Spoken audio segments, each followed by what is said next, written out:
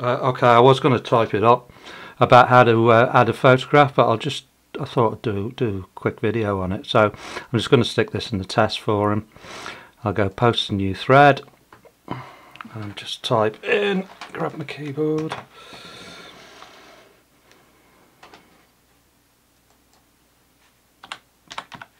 Test pic and put something in here.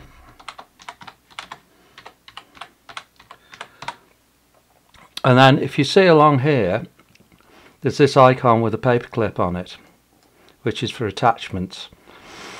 So you choose a file, go choose a file. So what you're doing is you're actually uploading it to to the site. Um, this, um, so if we just click on that, and then you can just pick on photograph. I'll click on that two multis, two Multistradas, and upload it.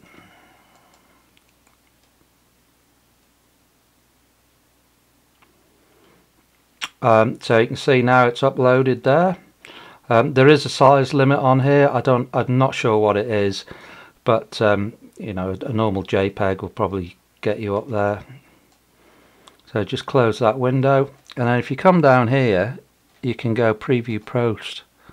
So if you preview, there it is.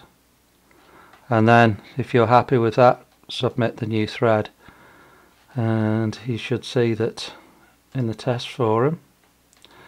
Whoops, let's go back, go back, refresh it. There's a new one by me, test pic, and it's as simple as that. Okay, hope this is alright. Cheers.